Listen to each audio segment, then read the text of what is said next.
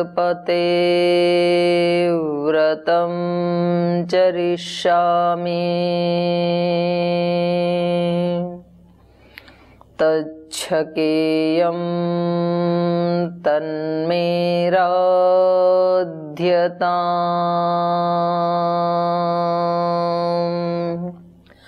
इदमहमनृतात् सत्यमुपैमि ॐ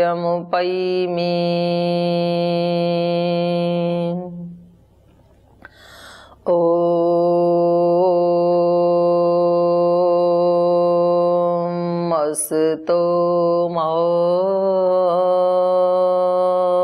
सद्गमय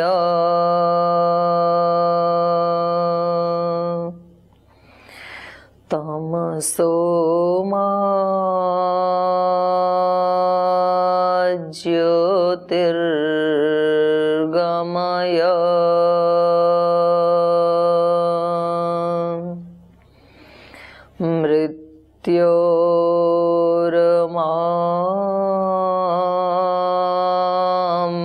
मृत्योर्मामृतं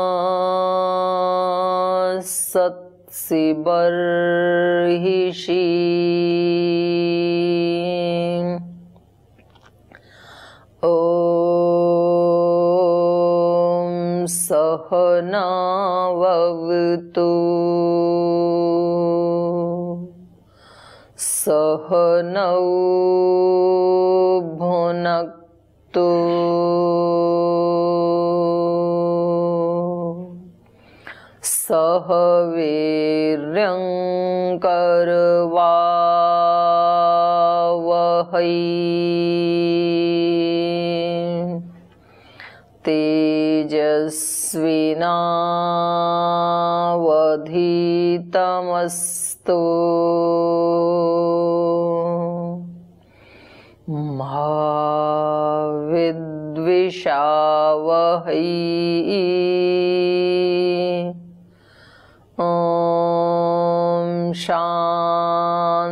शान्तिः। अथ जागरणमन्त्राः। ॐ प्रा प्रातरग्निं प्रातरिन्द्रं हवामहे। प्रातर्मित्रावरुणा प्रातरश्विना। प्रातर्भगं पूषणं ब्रह्मणस्पतिं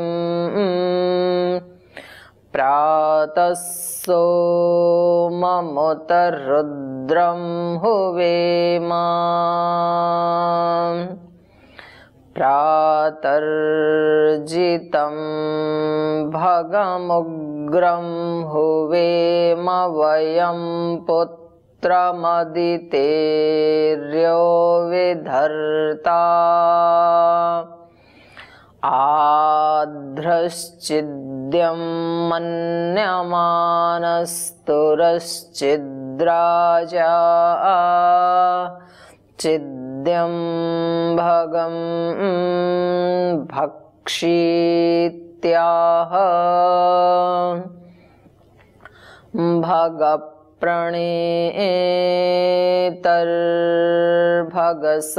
सत्यराधो भगे मां धियमुदवा ददन्नः। भगप्रणो जनय गोभिरश्वैर्भगप्रनृभिनृवन्तः स्यामा उतेदानीं भगवन्तः स्यामोत प्रपित्व उत मध्ये अह्नाम् उतोदितामघवन् सूर्यस्य वयं देवानां सुमतौ स्यामा भग एव भगवाङ्गस्तु देवास्तेन वयं भगवन्तः स्यामा तन्त्वा भग सर्व इज्जो हवीति स भगपुर एता भवेह। ॐ शान्ति शान्ति। शान्तिः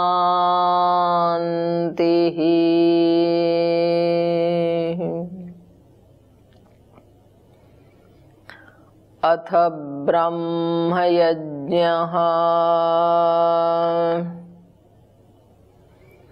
ॐ भूर्भुवस्वः।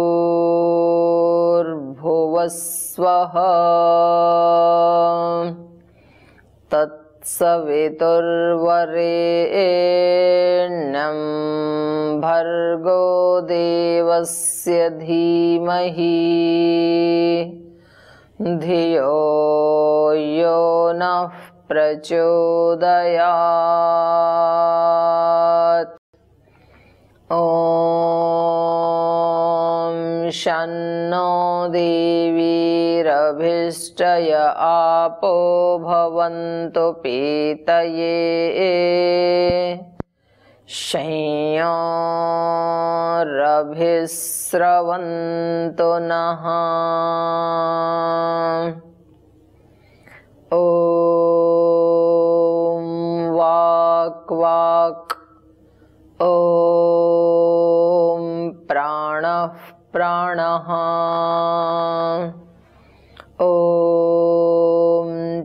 चक्षुश्चक्षुः। ॐ श्रोत्रं श्रोत्रम्। ॐ नाभिः। ॐ हृदयम्। ॐ कण्ठः। ॐ शिरः।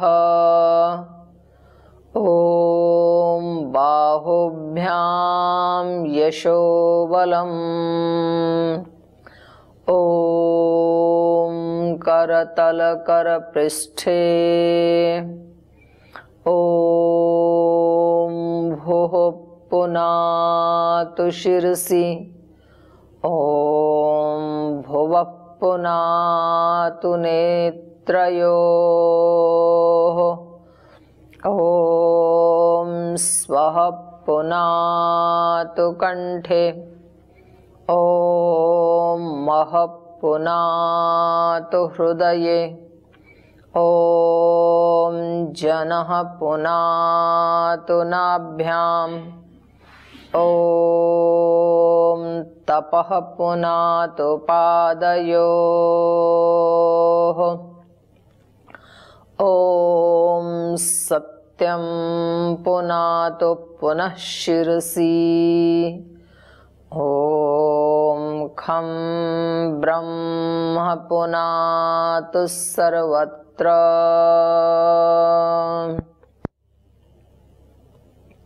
दो बार बाह्य प्राणायाम करेंगे।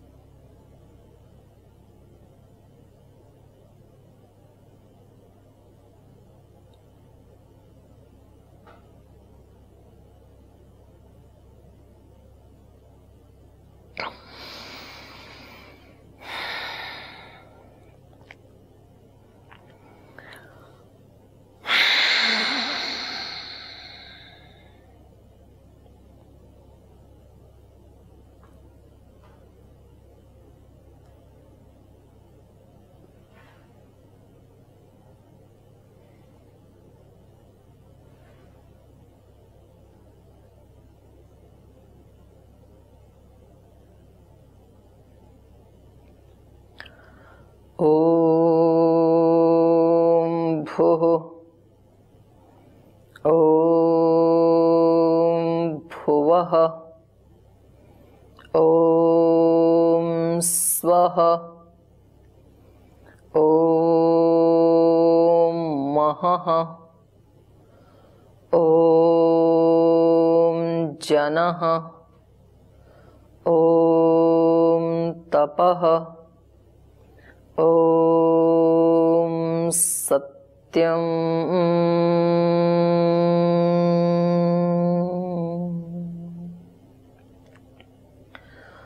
ॐ ऋतं च सत्यं चाभिधात्तपसोऽध्यजायत ततो रात्र्यजायत ततः समुद्रोऽर्णवः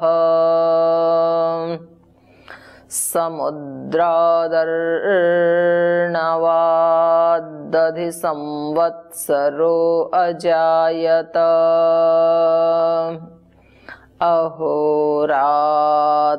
अहोरात्राणि विदधद्विश्वस्य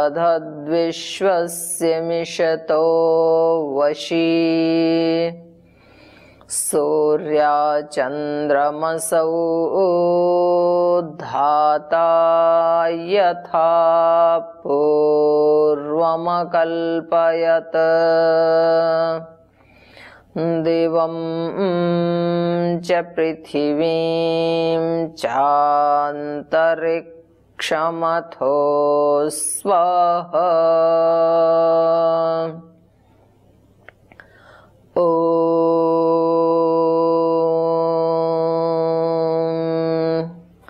शन्नो देवीरभिष्टय आपो भवन्तु पीतये। संयोरभिस्रवन्तु नः।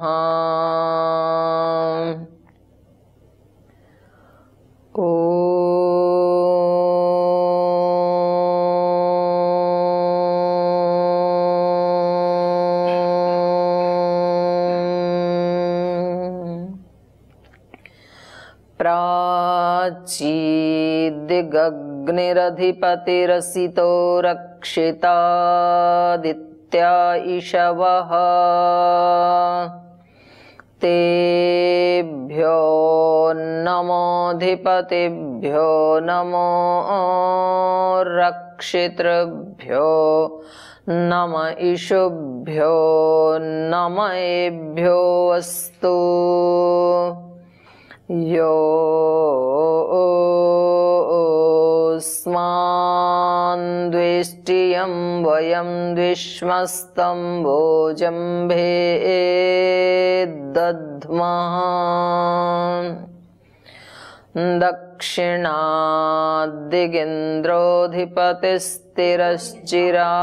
दक्षिणाद्दिगेन्द्रोऽधिपतिस्थिरश्चिराजीरक्षिता पितर इषवः तेभ्यो नमोऽधिपतिभ्यो नमो रक्षितृभ्यो नम इषुभ्यो नम एभ्यो अस्तु। यो स्मान्द्विष्टियं वयं द्विष्मस्तं भोजम्भेदध्मः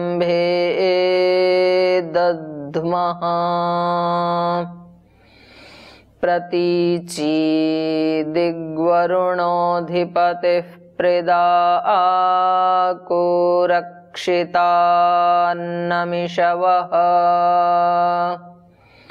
ते तेभ्यो नमोऽधिपतिभ्यो नमो रक्षितृभ्यो नम इषुभ्यो नम एभ्यो अस्तु। यो स्मान्द्वेष्टियं वयं द्विष्मस्तं भोजम्भे दध्मः उदीची दिक्सोमोऽधिपतिस्वजो रक् रक्षिता शनिऋषवः तेभ्यो नमोऽधिपतिभ्यो नमो रक्षितृभ्यो नम ईशुभ्यो नमयेभ्यो अस्तु। यो स्मान्द्वेष्टियं वयं द्विष्मस्तं भोजम्भे दद्मः ध्रुवादिग्विष्णुरधिपतिः कल्माशग्रीवो रक्षिता विरुध इषवः तेभ्यो नमोऽधिपतिभ्यो नमो रक्षितृभ्यो नम इषुभ्यो नमेभ्योस्तु यो स्मान्द्वेष्टियं वयं द्विष्मस्तं भोजम्भे दद्मः ऊर्ध्वादिबृहस्पतिरधिपतिः रक्षिता वर्षमिषवः। तेभ्यो नमोऽधिपतिभ्यो नमो रक्षितृभ्यो नम इषुभ्यो नमयेभ्यो अस्तु। यो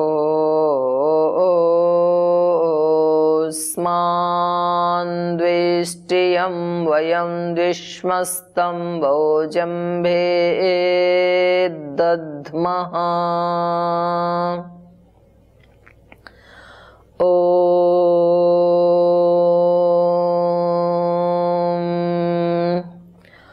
उद्वयं तमसस्परिस्वः पश्यन्त उत्तरम्। देवं देवत्रा सूर्यमगन्मज्योतिरुत्तमम् उदुत्यं जातवेदसं देवं वहन्ति केतवः दृशे विश्वाय सूर्यम् चित्रं देवानां मुदगादनेकं चक्षुर्मित्रस्य वरुणस्याग्नेः आप्राद्या वा पृथिवी अन्तरिक्षगं सूर्य आत्मा जगतस्तस्थुषश्च स्वाहा तच्चक्षुर्देवहितं पुरस्ताच्छुक्रमुच्चरत् पश्येम शरदः शतं जीवेम शरदः शतगं शृणुयाम शरद शतं प्रब्रवाम शरदः शतमदीनः स्याम शरद शतं भूयश्च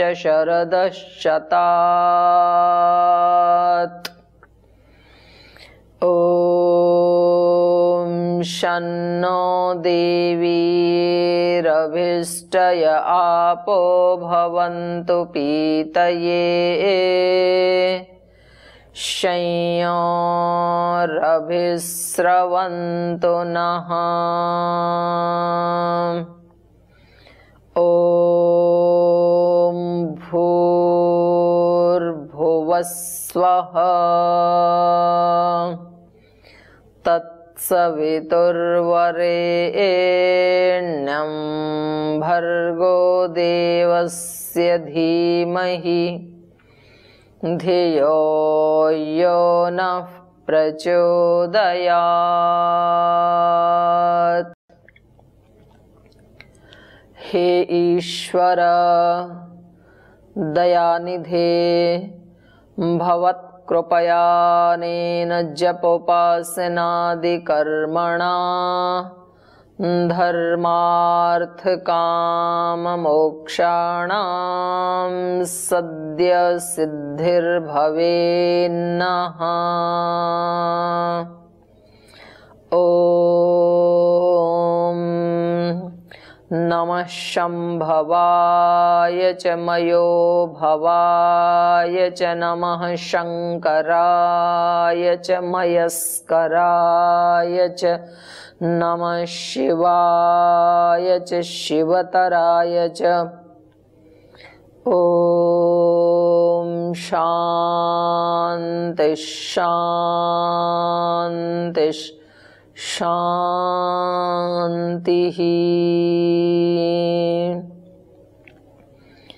इति ब्रह्मयज्ञम्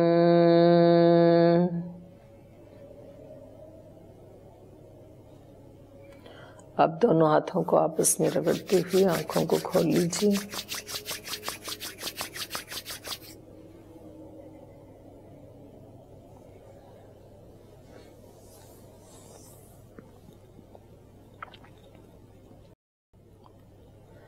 ऐसे प्रतिदिन, हर दिन की शुरुआत ईश्वर की स्तुति के साथ, प्रार्थना के साथ, उपासना के साथ, ब्रह्म यज्ञ, देव यज्ञ के साथ, योग यज्ञ के साथ,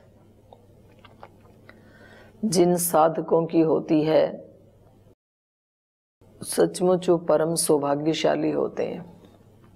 और जितनी श्रद्धा से, भक्ति से और समर्पण भाव के साथ, क्योंकि ये भी हमारा उतना ही बड़ा कर्तव्य है जितना कि हम अपने दैनिक जीवन में दूसरे कर्तव्यों को देखते हैं।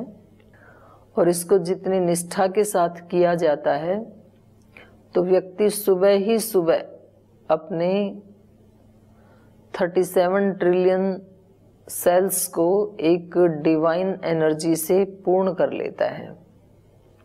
अपने मन को, अपने प्राणों को, आत्मा को, आप ये समझिए कि सबसे पहले आहार दे दिया आपने, भोजन खिला दिया तो अब ये कम से कम 24 घंटे 12 घंटे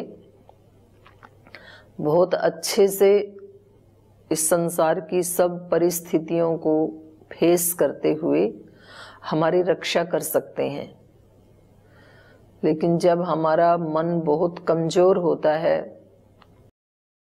आत्मा प्राण कमज़ोर होते हैं तो हम उन परिस्थितियों को जो दिन भर में आने वाली हैं हमारे सामने, उनको फेस नहीं कर पाते हैं।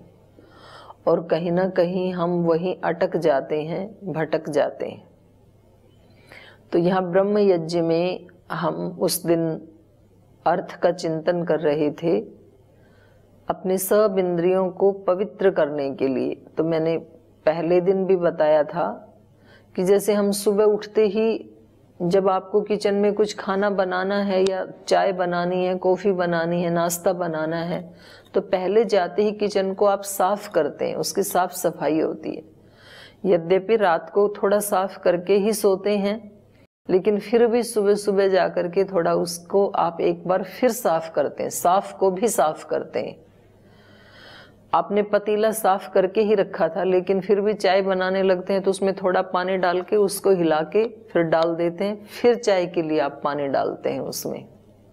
ऐसे नहीं होता कि सीधा ऐसे ही आपने पानी भरा और पी लिया। आप गिलास में भी पानी डालते हैं पीने के लिए।